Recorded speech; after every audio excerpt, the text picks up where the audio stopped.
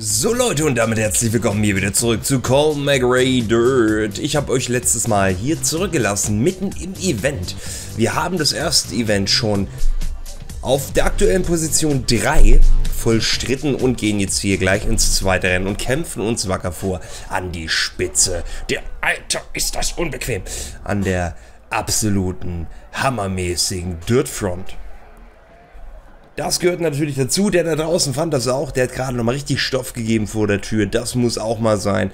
Um 19.30 Uhr darf er das auch. Um 20 Uhr gibt es dann eine kalte Bierdusche. Wohlgemerkt, wenn ich hinterherkomme.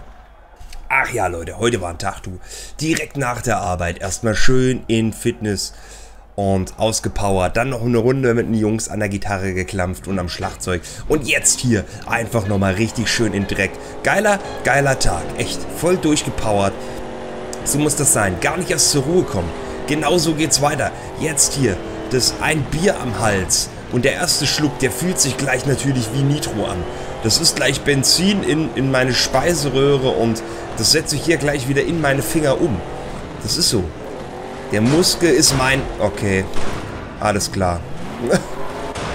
Wartet doch mal ganz kurz. Ich habe gerade Blödsinn erzählt. So, jetzt kann es weitergehen. So, wie war das nochmal? Genau, ich habe den... Ich habe das Bier im Hirn und das Blei im Finger? Nee, warte mal, das klingt irgendwie alles ziemlich träge. So wollte ich das nicht ausdrücken.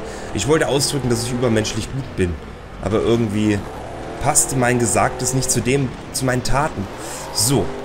Jetzt hoffe ich einfach mal, dass sie da vorne so ein bisschen äh, in Rückspiegel schauen. Hat das Ding überhaupt einen Rückspiegel? Ist die nächste Frage, ne? Hat es einen Rückspiegel? Nee, hat keinen Rückspiegel. Aber bei der Karre, da nehme ich definitiv die Außensicht, denn die Innensicht hier, das... Nee, mm -mm. Wenn sich da wieder einer liebevoll in meine Reifen reinhakt, dann will ich das auch sehen. So. Oh, ich habe heute übrigens ein Angebot gesehen. Ne, hier bei Marketplace bei Facebook. Da verkauft einer ein PS2, PS3 Lenkrad für 20 Euro. Ich habe aber das Gefühl, das ist nichts. Ich habe einfach das Gefühl, das ist nichts. Vor allem PS2, PS3. Ich weiß nicht, das ist bestimmt mit irgendeinem so Kack-Adapter, dann geht das nicht richtig, weil eigentlich heißt es ja immer, was für PS3 geht, geht auch für PS4. Deswegen die Kombi aus PS2 und 3 das klingt, nicht so gut. Die Anschlüsse sind ja ganz anders, ne, bei der alten Konsole. Bei der PS3 ist ja alles USB, genau wie auf den neueren. Ich glaube auch wie auf der PS5 dann. Deswegen, nee, das ist nicht so das Richtige für mich. Aber ich bin drauf und dran. Wenn ich da mal ein günstiges kriege, ich glaube selbst ersteigert günstig, muss ich da so mit circa 100 Euro rechnen. Wenn es überhaupt reicht so ein geiles Logitech-Ding oder so. Also ich bin großer Logitech-Fan, auch damals. Damals war immer die große Diskussion, ey, was hast du für eine Maus bei den LAN-Partys, ne? Counter-Strike gezockt, Unreal Tournament und Quake. Und da war immer Razer oder Logitech. Und ganz ehrlich, Razer war mir immer zu klein. Ich habe so relativ große Pranken. Und ich brauche eine relativ große Maus, die ich auch schön in der Hand halten kann. Und da war immer Logitech für mich irgendwie angenehmer. Und diese Maus, diese besagte Maus von damals, die habe ich heute noch, ne? Habe ich heute noch. Die habe ich gepflegt, geschrubbt. Ich meine, die hat schon Alterserscheinung im Sinne von Abnutzung. So ein paar Kratzer, so dass du das Logo auch nicht mehr sehen, sehen kannst. Aber das Ding, das läuft.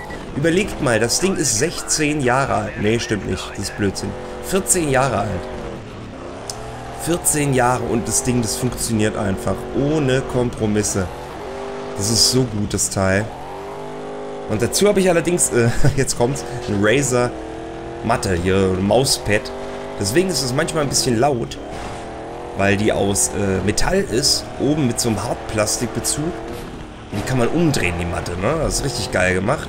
Denn wenn ich die umdrehe, dann ist das die Haftreibung ein bisschen niedriger. Das eine ist so für Sniper und das andere ist ähm, für den Frontbetrieb. Bin natürlich eher der Frontkämpfer. Das Problem ist, die ist relativ laut. Deswegen habe ich mir hier noch so eine extra kleine Matte hingelegt, die ich dann immer dazwischen tue. Habe ich mir bei Thomann mal bestellt, hier so Musikzubehör. Äh, auch wenn ich immer laut singe. Ja, ich kann singen. Also können ist ja immer subjektive Meinung. Ähm, dann hängt das Ding am Mikro, aber ansonsten hänge ich das hier immer mal zwischen Maus und Mikro oder wenn die Playstation 4 an ist. Ja, die Playstation 4 ist ja schon für sich genommen ein geiles Gerät, aber die hebt ja wirklich manchmal ab, ne? Ich meine, die steht hier circa 15 cm von meinem Mikro entfernt. Und das Mikro bedankt sich immer, wenn die mal wieder richtig pustet. Dann hört man im Hintergrund immer so ein leichtes Surren. Ja, und dieses... Dieser äh, Schallentferner... Oder Hallentferner? Weiß ich nicht. Ja, das unterbindet das. Das ist eigentlich ganz geil. Das Ding war relativ teuer, muss ich sagen. 30 Euro.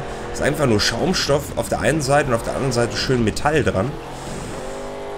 Damit es halt auch ein bisschen hochwertig aussieht. Und kein Hall nach außen betreibt, beziehungsweise schön abschirmt in eine Richtung. Ich muss sagen, das Geld war es wert. Ich höre meine PS4 nicht mehr und auch das, ja, die Maus hört man ab und zu nochmal. Aber das geht. So, guck mal, ich bin einmal nicht mehr am Pad. Was passiert? Genau, er hält sich gegen den Kopf. So ist es. Er halte ich mir auch einfach. Ne? Furchtbar. So, schönes Rennen. Ich glaube, damit haben wir auch diese Meisterschaft abgeschlossen. Auf dem ersten Platz. So gehört sich das. Ähm, und dann wollen wir noch mal gucken, wo es uns hier als nächstes hin verschlägt. Denn Colin McRae Rallye geht mit großen Schritten den finalen Rennen gegenüber. Zwei neue Events gleich. Ich kann doch nur eins fahren. Und 350.000. Das ist natürlich jetzt hier. Oi, jawoll. Die komplette Staffel 7 ist jetzt freigeschaltet. Vielleicht machen wir das Ding heute. Ich glaube nicht. Ich glaube, ich nehme nachher zwei Parts auf und mache das heute fertig hier. Aber ansonsten geht es jetzt erstmal zum Crossover-Rennen nach Spanien. Darüber freuen wir uns. Wir spielen es auf Pro-M. Wir haben es jetzt einfach raus, ne? Kriegt man auch nur 300 Öcken. Relativ sparsam. Und mit unserem Citroën oder mit dem. Ich muss sagen, es waren irgendwie alle geil, ne? Das ist unser Evo am Anfang. Es waren alle Autos geil. Wir sind sie alle mehr oder weniger sehr oft gefahren. Hm. Wir nehmen das jetzt hier. Wir nehmen den Citroën, denn den mag ich vom Fahrverhalten eigentlich doch relativ gut. Ach so, das war das hier, wo man gegen den anderen antritt. Das heißt, hier würden wir eventuell das ein oder andere Mal nochmal starten müssen, denn das ist echt schwer. Ja, schwer. So. Aber warm machen? Ah, locker machen. Warm bin ich ja schon. Gerade vom Sport gekommen. Wie kann ich jetzt nicht warm sein? Okay. Let's get ready. Okay, okay, okay. Uh, um. Ich werde jetzt eh verkacken, ne? Wissen wir alle. Werde jetzt verkacken. Aber wir müssen wenigstens aus dieser verkackten Runde was mitnehmen. Und zwar, wie die Strecke funktioniert. So, mit dem brauche ich, glaube ich, nicht so viel Bremsen. Er hat natürlich die Innenkurve. Er hat jetzt eigentlich den Vorteil, ja. Aber jetzt habe ich die Innenkurve.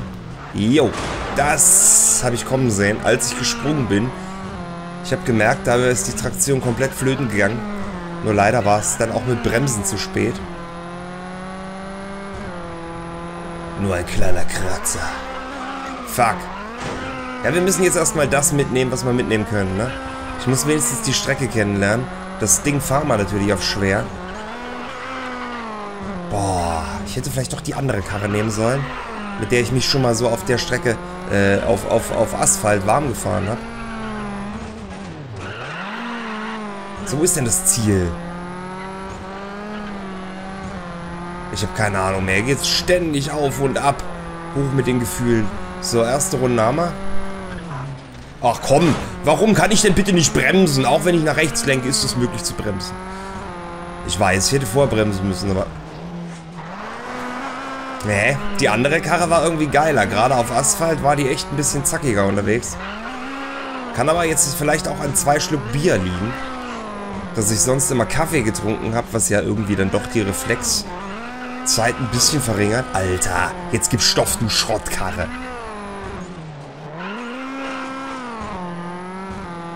Nein, die Garre, die Garre ist geil. Geile Garre. Fuck, ich, ich habe keine Ahnung. Bin ich gerade vorne? Kann ich das überhaupt noch gewinnen? Was mich echt nervt, ist, wenn ich in der Kurve anbremse, dass die Karre dann gerade lenkt. Das, also ich kann echt nicht schön in der Kurve mit der Karre bremsen. Das ging bei der anderen irgendwie besser. Aber ja, wir haben tatsächlich gewonnen. Ich weiß nicht, wie ich das geschafft habe, aber irgendwie hat es funktioniert.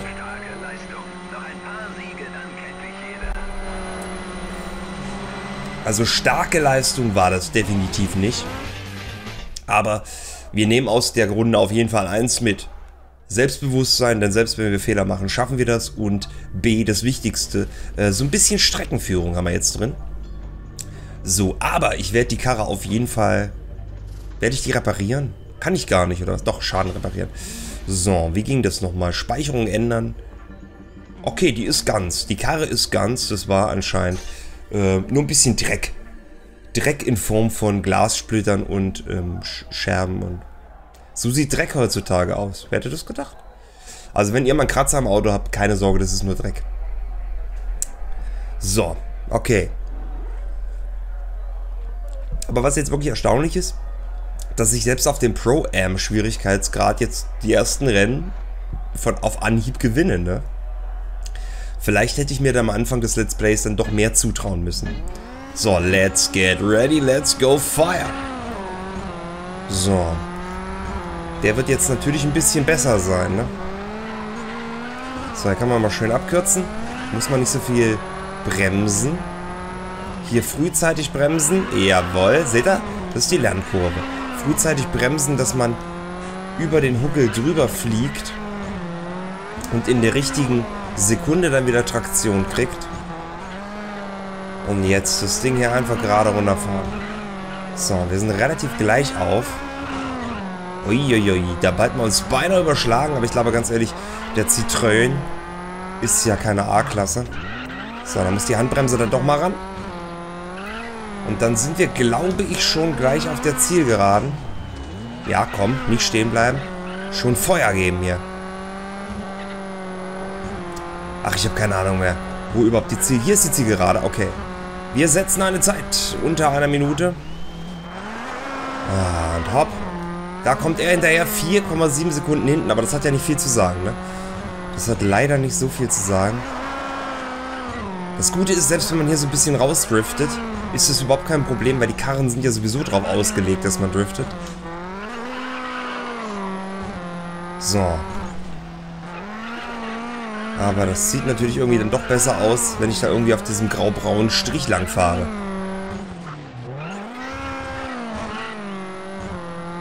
So, komm jetzt hier. Konzentrieren, das Ding nur noch nach Hause fahren. Dann, oh nein, da überholt er mich.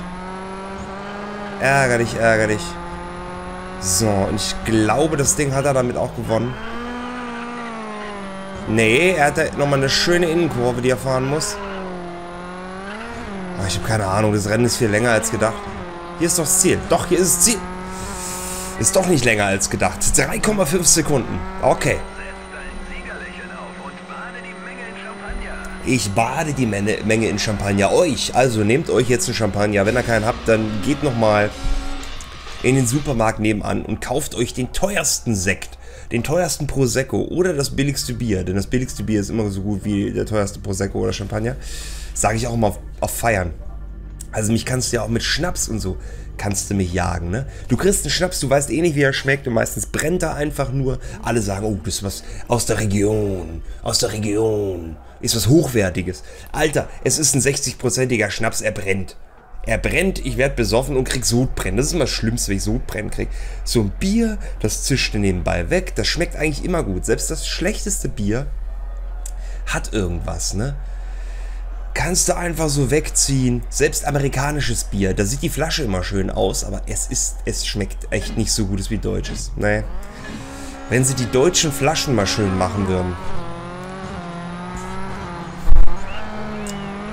Da ist immer irgend so ein Ritter drauf. Ich meine, wen willst du damit aus dem Keller locken? Mit einem Ritter. Ich meine mich vielleicht. Aber ansonsten fährt doch keiner mehr auf Ritter und Wappen ab. Nee, er muss irgendwie sponsored bei eSports oder EA, Cinegame oder was weiß ich. Aber ansonsten, nur weil da eine Ritterrüstung drauf ist, kauft doch jetzt keiner mehr das Bier. Das ist eben Tradition in Deutschland, ne? Jedes kleine, noch so verrunzelte Dorf hatte irgendwo mal eine Burg stehen und die haben Bier gebraut und da muss man halt sein Wappen draufkleistern. So ist es. So, ich glaube, wir sind relativ gleich mit dem Auf und selbst wenn wir jetzt verlieren, sind wir immer noch Zweiter. Also ich mal mir das jetzt schon mal aus, falls es in die Hose gehen sollte. So, wie viele Sekunden sind wir vorne? Das ist immer das Wichtige. Das sieht doch ganz gut aus. 3,7. Das wird allerdings ein bisschen knapp. Aber das kriegen wir hin. Ah, die zweite Runde ist irgendwie immer ein bisschen kniffliger, ne? Ich meine, ich, ich habe das Gefühl, sie ist kürzer. Aber da bin ich noch nicht so drin, ne? Gerade der Anfang.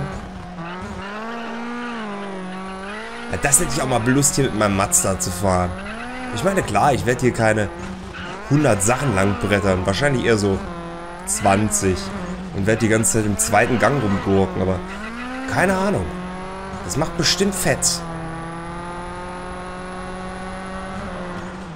Meine Freundin fährt ja so einen alten SLK. Mit ordentlich PS. Mit dem hier lang pesen. Den gibt es übrigens auch bei Need for Speed. Ich meine, da gibt es auch den Mazda 3, also von daher. Aber der hat schon ordentlich Bums unter der Haube. Das muss ich echt sagen. Wenn du dem auf die Autobahn fährst und mal Stoff gibst. Ich meine, der hat jetzt nicht so die Höchstgeschwindigkeit, weil das einfach... Ich habe das Gefühl manchmal, du sitzt direkt mit dem Blech auf dem, auf dem Asphalt. Also, da vibriert es da drin, aber was das Ding für eine Kraft hat. Selbst eine Ampel, da steht neben dir ein Porsche, so zweispurig, und denkst dir nur, keine gute Idee. Keine gute Idee. A, weil ich die Kupplung eh nicht so gut beherrsche. Das ist immer ein Geruckel. Aber wenn der mal richtig Stoff gibt, dann... Holla. Ich meine nicht den Porsche, ich meine SLK. Wahrscheinlich könnte der Porsche mich auch verblasen, denn er sagt sich einfach nur, ach komm, lass den alten Idioten. Ja, lasst mich. So Leute, wir gehen aber hier noch direkt ins nächste Rennen. Rallye auf Großbritanniens wunderschönen Strecken. Geht es weiter nach Felsenby, Butter High B und Crawberry Crack. Reden wir Klartext. Ja, wir reden Klartext und mein Klartext heißt, wir brauchen jetzt keinen Schwierigkeitsgradanstieg. Nur weil ich jetzt hier gerade mal ein bisschen das zu handeln weiß. Okay, es steht schwierig da, es wird schwierig sein. Wir sind bereit. Gehen wir ab in das Rennen der Rennen. Oh, wartet mal, Leute. Ich möchte heute mit Gunther noch, ne? Mit Guscha noch ein Stündchen spielen. Deswegen mache ich mal die PS4 an. Denn die neigt ja dann doch immer mal dazu, wenn man gerade spielen will, dann doch nochmal ein Update durchzuziehen oder so. Das war das Geile an der PS3. Da war ein Update, das hast du runtergeladen innerhalb von 5 Minuten, selbst wenn es ein großes war. Die Installation hat vielleicht nochmal 5 Minuten gedauert bei der PS4, weil die immer das komplette Spiel nochmal neu installiert. So ein Kack. So. Deswegen liebe ich immer noch die PS3 und... So, wir wollten aber hier... Oh, da schreibt irgendwer. Wir wollten ja hier Genau, das wollten wir machen und wir wollten die Innenansicht nehmen. Alter, das ist, das ist halt einfach so geil. Diese Abwechslung in diesem Spiel ist der Hammer. Und diese Innensicht, oh. Also das Spiel hat mich wirklich so auf diesen Simulationstrip gebracht, hier die komplette Dirt Ride zu holen. Und auch WRC, ich liebe es. Ich bin jetzt echt Rallye-Fan. Ich habe mir auch mal so echte Crashs angeguckt, wo natürlich nichts passiert ist. Nicht wie bei mir hier. Muss ich echt sagen, alter Latz. Das ist schon übel. Aber was... Das ist ja wirklich so, wie das hier gezeigt wird. Das ist ja kein großer Unterschied. Oh, ich muss zuhören, was der labert, ey. Gott, ey, ist das eine Holperstrecke. Ich glaube, wir haben das falsche Auto gewählt. Wir brauchen hier irgendwie dieses Buggy-Gedöns mit mehr Federung. Alter Latz, Mann, Mann, Mann. Schatz, wir sind gleich da. Das Landhaus ist nah. Ja, ja, Übersprung, natürlich. Okay, Übersprung, Schatz festhalten. Schnall die Kinder an. Scheitel, Scheitel. Links 4. So. Ja, hier bin ich immer noch erst. Ich bin Erster. Wen das hier macht. Mit drei Sekunden. Alter. Oh, hier ist aber auch Heinz mit dem Trecker vorher nochmal durchgebrettert, oder? Oh, guckt euch das an. Kennt ihr das, wenn man so, wenn man Skiabfahrt, ne? Mache ich extrem gerne. Wenn man früh morgens, die Schneeraupe ist gerade drüber gebrettert und dann gab es nochmal richtig Frost. Und dann ist die extrem hart, die Strecke. Boah, genau so schleudert es einander rum. Ich weiß nicht, ob die Strecke hier, wo bin ich hier? Okay, jetzt geht es hier hart rum. Alter. Das hat sich aber auch hier eine schöne Spurrinne gebildet.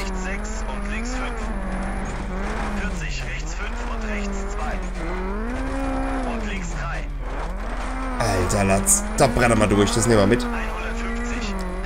Alter, wir haben eine gute Zeit. Sechs Sekunden vorne. Wir spielen es auf Pro M, Leute. Ich bin's einfach. Ich glaube, das ist einfach die Power des Bieres. Der Kaffee, der hat mich immer so ein bisschen geboostet. Und jetzt einfach mal eine Woche kein Alkohol getrunken. Voll krass. Und dann einfach mal wieder ein Schluck Bier. Es, es, es weckt einfach ungeahnte Kräfte. Der nächste Schluck ist wahrscheinlich genau das Gegenteil. Der schmale Grad des Alkohols. So ist es. Alter. Okay, Sprung 60, Scheitel, alles klar. Festhalten. Alter Latz. Sag doch mal Ziel, du sollst mir das Ziel nennen. 80. What? Boah. Alter, alles mitgenommen. 7,7 Sekunden vorne. Du bist auf dem ersten Platz gelandet. Hail to the best driver. Geil. Richtig geiles Rennen. Hat saumäßig Bock gemacht. Soll ich euch was sagen, Leute? Wir setzen noch direkt eins dran. Ich habe jetzt keine Lust, dann nochmal einen Part aufzunehmen. Denn Gusha hat mir gerade geschrieben, ne? Gerade gesagt, ey, komm her, wir zocken jetzt. Oder irgendwas anderes. Auf jeden Fall irgendwas angezeigt. Deswegen, komm her, das, das, eins fahren wir noch. Wenigstens eins. Ich doch. So, komm, komm her. Lieblingsstraße, glatter Asphalt. Glatt. Ich und glatt. Bitte nicht. Okay, let's get ready. Es ist wirklich so geil, wie, wie dreckig diese Karre einfach schon ist. Es fetzt so dermaßen. Ich meine, ich habe am Anfang des Let's Plays gesagt, Alter, die Grafik ist natürlich schon hart am Limit. Aber man muss einfach mal bedenken, wie, boah, wie alt dieses Spiel ist. Und dass es so wegweisend war, dass viele sich einfach immer noch hieran messen müssen. Also es ist wirklich genial gemacht. Und das, oh, also das Feeling von den Karten hier und das Unterboden-Feeling, Unterboden-Feeling, keine Ahnung, das, ihr wisst schon, ne? Streckenfeeling. Enger fair, warte mal. Oh, oh. Nicht mich zurücksetzen, genau. Ich habe alles gegeben. Geil, 5 Sekunden vorne. Manche würden sagen, ich hätte gecheatet. Okay, warte mal. Da müssen wir einmal ganz kurz wieder zurücksetzen, denn ich mich da wieder rausmanövriert habe. Das wäre wahrscheinlich in die Hose gegangen.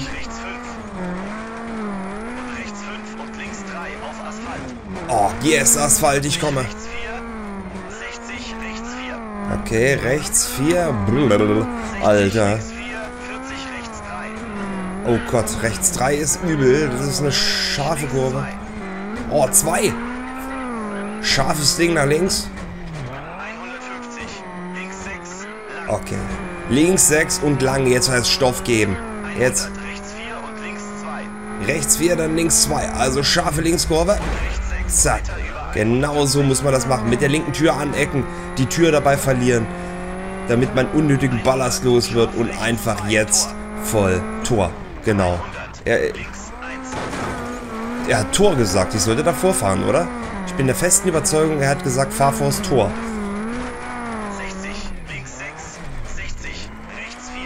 Alter, ich habe die halbe Wiese hier am Schuh. So, ich bin der neue Rasenmäher. Überleg mal, du fährst mit so einem Rasenmäher hier lang. Oh, das ist aber frech. Shit, da ist irgendwas kaputt gegangen.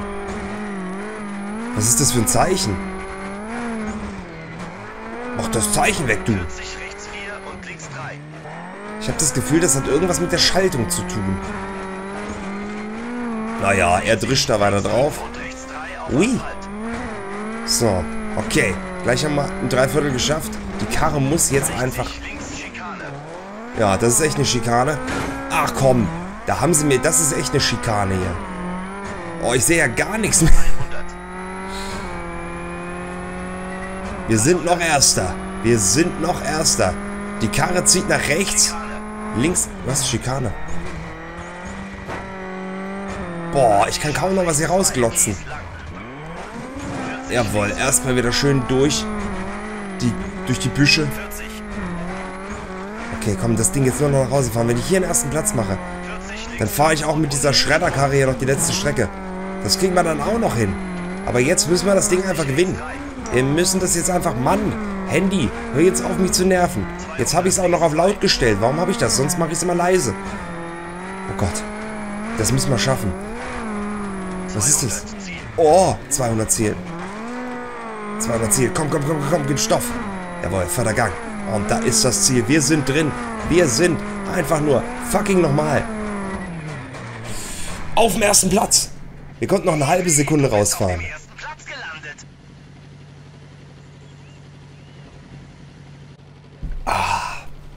Was für ein Rennen. Was für ein Rennen, ey Leute. Das sage ich euch. Boah. Hab, ich habe gar nicht die Möglichkeit, meine Karre zu reparieren, oder? Doch. Sehr gut. Ich darf die Karre nochmal reparieren, weil ganz ehrlich, mit der Karre anstatt gehen, das, äh, nee. So, Schäden müssen repariert werden. Ähm, was ist denn das Schlimmste? Fahrzeugwäsche. Nein. Das Getriebe ist Zustand 1%. Muss repariert werden. Muss repariert werden. Antriebswelle. Kühlsystem. Turbo. Um ehrlich zu sein, muss ich die Karosserie reparieren, weil ich ja nichts mehr sehe. Deswegen, die muss repariert werden. Restminuten 15, wir haben noch 15 Minuten. Wir könnten das Kühlsystem in 15 Minuten reparieren. Oder die Räder. Wir machen die Räder und machen den Turbo. Und dann sagen wir, so wollen wir es behalten. Das war, denke ich, gut. So, so, so schnell muss das gehen. Weißt du, der Fahrer, der darf einfach mal jetzt... Wie viel Zeit hat man? 30 Minuten? 30 Minuten Zeit, der darf einmal ganz kurz seine Kluft auswerfen, darf sich ganz kurz duschen gehen, einmal kacken, dann kriegt der frische Sachen und die Mechatroniker, was müssen die? In 30 Minuten hauen dir da einfach mal ein fast neues Auto hin. Und hätte ich es waschen lassen, 15 Minuten. Wo ist denn da bitte die Relation? 15 Minuten Auto waschen? Also, das kriege ich aber hier an der Aral-Tankstelle, kriege ich das schneller hin. Was nicht gut ist. So, geil. Die haben mir sogar die dreckigen Teile wieder dran gebaut. Das ist meine Serviceleistung. Kein Wunder, dass es so lange gedauert hat. Ja, das musste doch erstmal sein. Jetzt sehen wir auch endlich mal wieder klar, wie das hier ist. So. Die Scheibe war so dreckig. Manchmal ist es dann besser, einfach die Scheibe, äh, die dreckigen Sachen abzustreifen. Vielleicht sollte ich einfach mal auf der Strecke fahren, oder? Und nicht immer durchs Gebüsch. Dann uneben, alles klar, dann uneben. Dann uneben, wenn er mir das noch einmal sagt, es ist alles uneben hier. Ist der schon mal auf einer ebenen Fa Straße gefahren? So, meistens ist ja die dritte Strecke, die erste Strecke nur wieder rückwärts. Aber ich kann da jetzt noch keine große Ähnlichkeit erkennen. Aber das könnte auch daran liegen, dass ich jetzt zum ersten Mal was sehe, was ich überhaupt mache. Boah. Das mag ich eigentlich relativ gerne hier. Zehnter, scheiß die Wurst. Zehnter Platz, das ist ja richtig übel. Also mindestens so auf dem Podest müssen wir schon sitzen. So. Rechts zwei, das ist eine harte Nummer. Rechts einmal rum, anbremsen. Zack. Alter, über Scheitel ist auch eine üble Sache. Ne? Da kannst du auch eine Viererkurve nehmen. Wenn du da drüber bretterst, dann sagt dir auch erstmal der Specht am Baum wieder guten Tag. So, Feuer. Oh, den meinte er. Oh, links 2 ist eine harte Nummer. Anbremsen und räumen die Bude. So, den fahren. Den fahren im Motor. Und wie sieht's aus? Elfter Platz. Geil, ich werde immer schlechter. Irgendwie das Gefühl, ich wäre besser geworden, aber... Der Schein trügt. So. Wir müssen jetzt einfach alles geben, was nur geht. Wir müssen jetzt hier nach rechts auf jeden Fall. Oh Gott. Ich will doch nur mal blinzeln. Lass mich doch mal bitte blinzeln. Oh, das meint er mit scharf. Alter, ich habe keine Ahnung, wie ich da gerade durchgekommen bin. Ich habe gerade voll gepennt. Sekundenschlaf. Aber was für ein Ding. Krasse Möhre. So, wo ist das Ziel? Komm, gib mir eine Zeit. Wow, ich bin jetzt schon wieder so mega kacke. Neunter. Wir konnten ein bisschen Plätze gut machen. Ist natürlich immer noch schlecht. Also jetzt muss ich besser werden. Wo ist denn die blöde Strecke jetzt? Fahrt ein Stückchen nach rechts. Oh, Tor. Jawohl, ja. Aber sie fährt noch. Sie kann noch. Da geht noch was. Und links 3, 150. Wer stellt denn die Bordsteinkante da so hoch hin? Jetzt fahrt er durch. Oh nein, die Austin Power Aktion. Voll ver verhakt. So, jetzt muss ich mal die Sicht nehmen, sonst sehe ich hier gar nichts mehr. Hm, so viel schöne Leistung und dann das letzte Rennen so beschissen. Alter, die Karre zieht volle Möhre nach links. 150 links 2. Ja, hier am Friedhof vorbei, ne? So ist es. 100. Die Wahrscheinlichkeit, auf einem freien Feld mit einer Straße das einzige Straßenschild mitzunehmen, ist sehr gering, doch ich habe es geschafft. Ich habe es wirklich noch geschafft. Du kannst dich immer noch verbessern. Ja, denn verschlechtern geht ja nicht. Du bist ja letzter.